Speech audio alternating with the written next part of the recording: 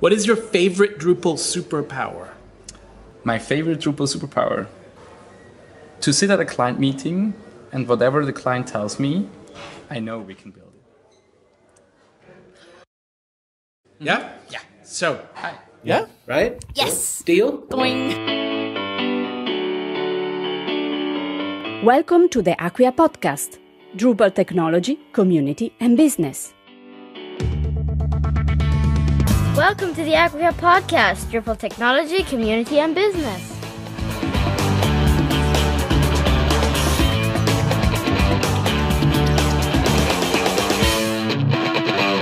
There's a module for that. There, of course, there is.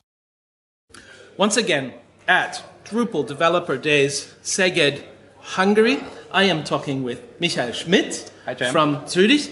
Uh, you are the CTO of Amazee Labs. Exactly. What version of Drupal did you first install? Five. Five. Yes.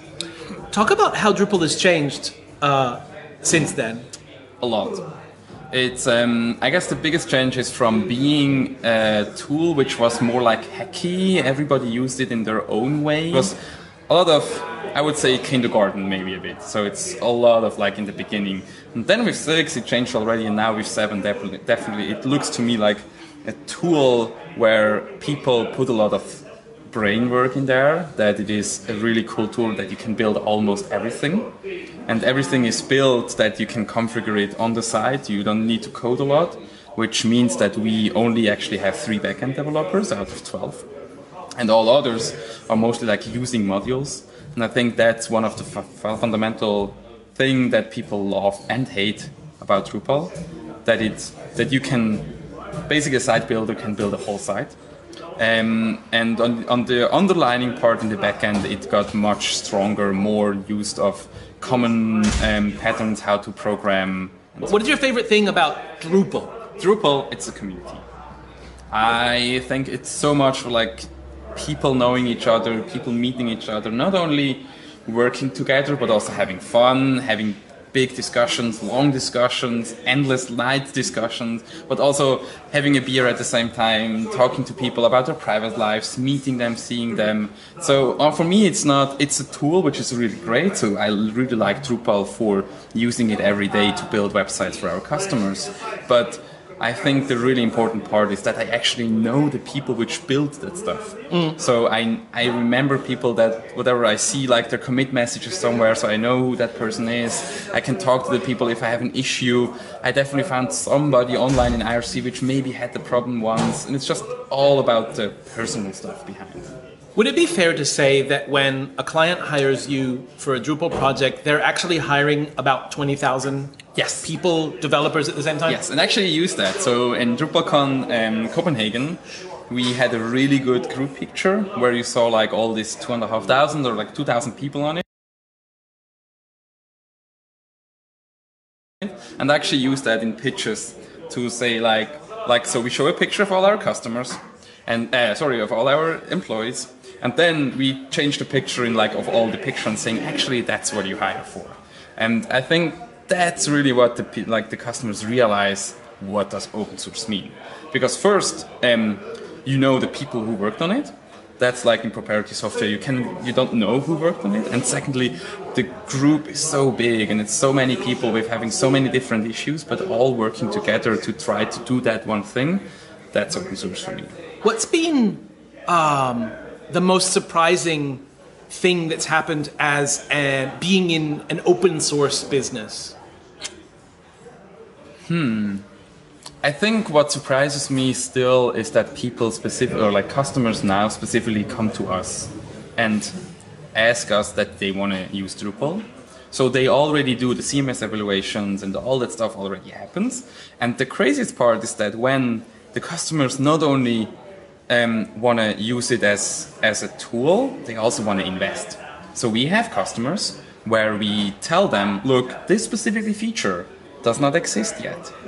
Um, we can build it for you, and it will maybe take one day of work, but it won't be test covered. It won't be like tested by the community, etc. So it, in total, it takes three days to build the whole thing that somebody else also can use it. And they say yes, we invest the time. So most of the time we say like, okay, let's make 50-50. So us Amazee Labs pays one and a half days and the customer pays one and a half days. So he actually pays more than if you would just request that only feature specifically for him, specific of his website build. But he says, no, let's do it for the community because we we, we use so much of the community already, let's give stuff back. And that's one thing I would not have thought in the beginning that this happens And that- from our customers. That's a great way for, for you as Amazee Labs to invest in Yes. in your tool set as well. Yes. Right? And I like that you get your clients invested as well. They feel it's it's it's theirs as Yeah. well, right? They have do do you see them having an emotional bond somehow because of that investment that they made? Are they more connected to it somehow? Yes, yeah, um, definitely. With um, just they're really interested in it. They first feel that we are really passionate about that, but we try to give this passion also to our customers, and they also kind of get a, a, a bonding to it. And the craziest thing that actually happened, I just remember at one point a customer walked at me at the Drupal camp, and I didn't know that he's there. So I mentioned it in a meeting at one time, saying, "Yeah, by the way, next week in Vienna there is a Drupal camp. Why not? I mean, if you want to." And I, he never told me, and then, then I'm there, and he walks to me and says, "Like, I just learned about that stuff." So, and I think that's really cool. That suddenly also your customers um, go in and in the community and realize what happens there, and gets the feeling that we have about Drupal. Wow. As a developer, what are you most excited about in Drupal 8? as a developer, I think that we now use a lot of patterns that other software uses as well. Because Drupal 8, coming from a backend point of view, if you like talked as a developer, like going to a PHP camp or whatever, you were like, you didn't really say that you do Drupal. You more said like, I do PHP, but you never said like, I'm Drupal. Because Drupal was all the time this hook stuff and nobody understood it. Others said like, you don't even use the patterns that everybody else uses. And yes, you use PHP, but it's PHP Drupal, it's something else. But now with Drupal 8, it's really like, I want to go there and saying, look, we use Drupal. It's all, obj- not all of it, but most of it is object oriented. We use Symfony parts. We can now- MVC. Yes, it's MVC. It's um, we have all these patterns. We have PSR zero or even PSR four. So it's all these things that that that makes the whole PHP community a community, and now we are part of it. And before we used to be just the outsiders, and nobody really cared about us. As a business person running a Drupal business, what do you see coming in Drupal 8 that is going to benefit you and, and how is that going to benefit you?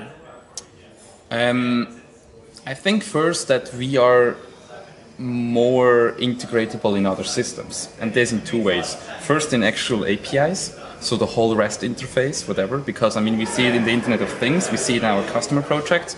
We used to do maybe one integration with like another blog, but now we have integrations to CRMs. We get data from somewhere else. We push data to somewhere else they want to have like updates on their iPhones and all these things. And the underlying technology is now baked into Drupal.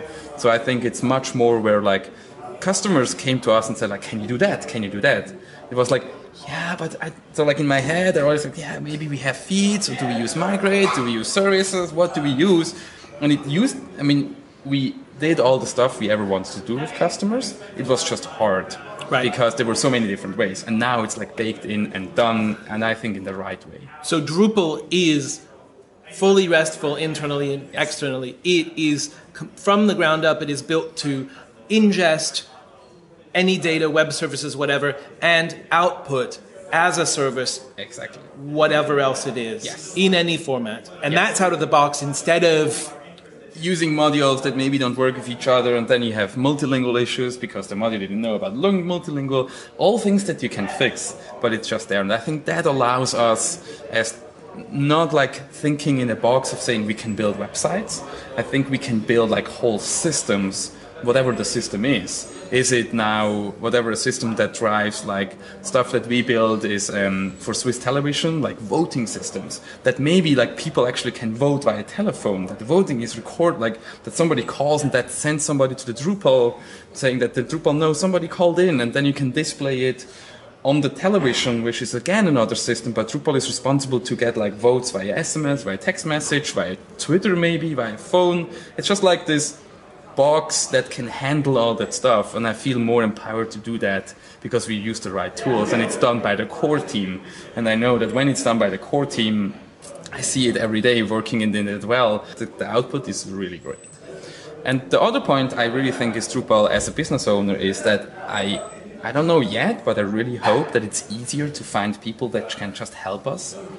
Because it's still, especially in Switzerland, um, we have a lot of non-PHP developers. So most of the developers are um, they they use PHP, but more in the side project. But the really big stuff happens in Java and .NET still, but just because now we use patterns that are used to Java, patterns that are used to .NET, object-oriented programming, I hope that it's easier for people to come in and help us building sites. Or maybe even, let's like, allow them writing modules.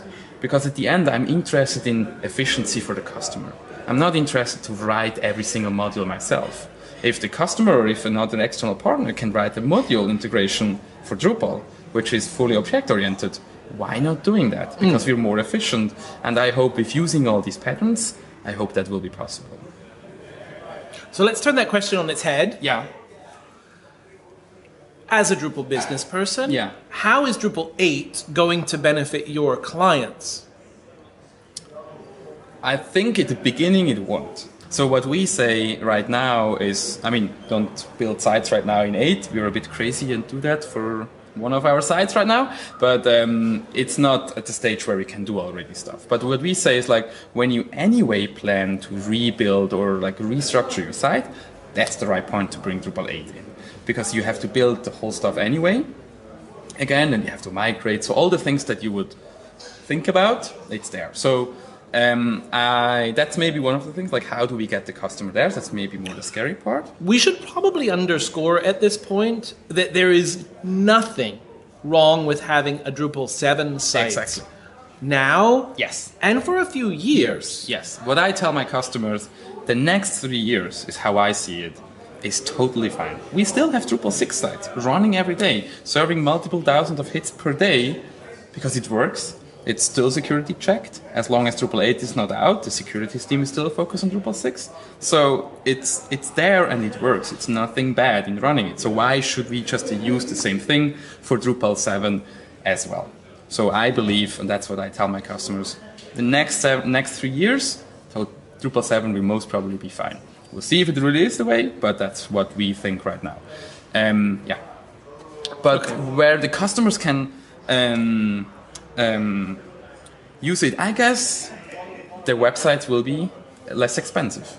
Like if they want to build really big websites, like integrations, as I said, with all the REST stuff, it's just already there, and we will use less time to fix stuff, to find out things, because yeah, it's just used on technologies that is used or used somewhere else. So integrations with Drupal with other sites will be faster done, and I think that's a really big advantage for us. Okay, and maybe they get more features for the same budget. Exactly, because we work on a budget. So they come to us and say, like, we have this amount of money, and at the end, there is a specific stuff you can do. And if the whole integration part now takes, instead of 40 days, it takes only 20 days, you have 20 other days to maybe make the website more responsive, to build another feature, to test it better, I don't know, whatever. The customer can decide, so we are fast in specific parts. How do you feel about Drupal 8 as a sort of a unification point between so many open source projects and communities now? question. Um, I think with the move for Drupal to decide that we will use Symfony components, um, I think that was a bold move in the beginning because everybody was scared, saying like, "What? Wait, so now now we depend on them?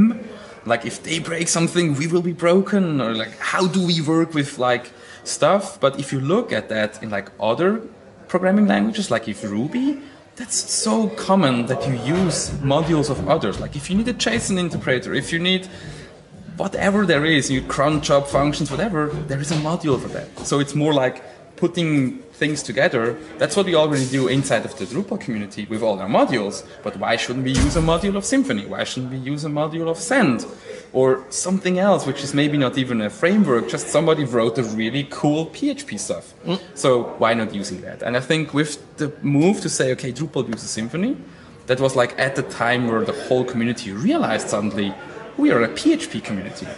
Before it was like, okay, we have like PHP Nuke, which was like this bad people, and then we have BB Board, and it's like they never talked with each other. They hated each other because they they both did forums or for like um, sites like that, and they said like that's bad. And then now I guess these people realize we both use PHP, so why don't we use work together as a PHP community and go not against others, but like go out there against ASP, against Ruby, and say like we will use each other's tools, we help each other, we are a community, and I think that's definitely things that you see that suddenly at DrupalCon you have people walking around never used Drupal before, but they're Symfony core developers, Right. and that's like one that's like I think that's really cool for the whole community to suddenly work together. And I'm also running into Drupalists at Symfony community events. So, so you know, we're, we're, we're breaking down some barriers here. We're making some friends. It's like the social composer, right? Exactly. Yeah, social composer. yeah. Thank you so much for Thank taking you. the time You're to welcome. talk with me. Excellent.